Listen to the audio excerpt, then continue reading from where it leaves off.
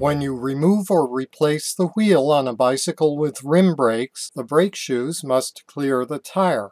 There may be a tab or button on the brake lever. Sometimes there is a quick release lever on the brake itself.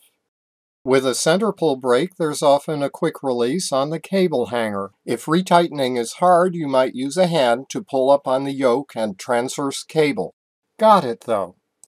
A direct pull brake, also called a V-brake, releases by disconnecting the part that's colorfully called the noodle.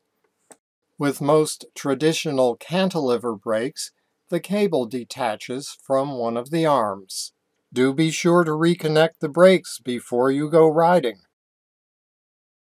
Sometimes you can loosen a slotted cable adjuster and align the slots in the adjuster and its lock nut so you can pull out the cable housing. Sometimes the slotted stop and the adjuster are at different places.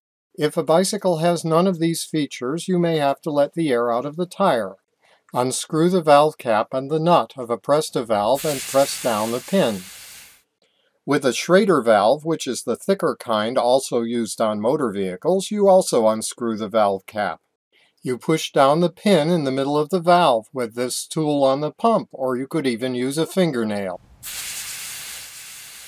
Again, be sure to put the brakes back together before you ride.